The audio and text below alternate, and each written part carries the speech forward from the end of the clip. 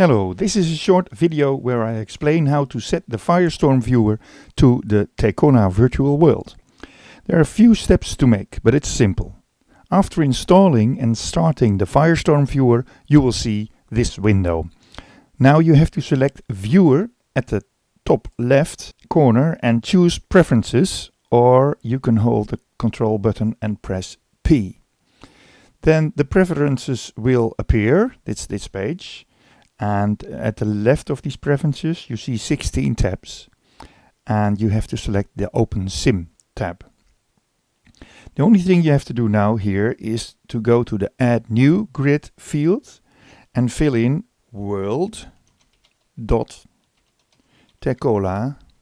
dot eu colon 8002 and then you have to press apply and then you will see that the background is already set to the new grid of TeCoLa.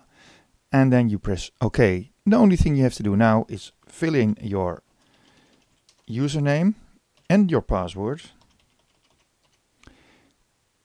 and log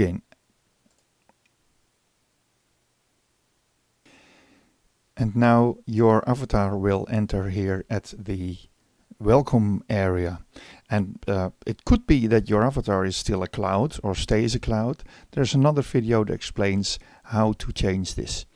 Now you see a little white dot over my head and this, will, this means that the audio is working and I can start and stop audio with the little button over here. And now when I talk you see green waves over my head. This means voice chat is working and I can put it off and on with this button or I can use the middle mouse button to put it on and off. If this voice is not working, if you don't have a white dot over your head, you have to go back to the preferences. Then so you click on avatar, then preferences or control P.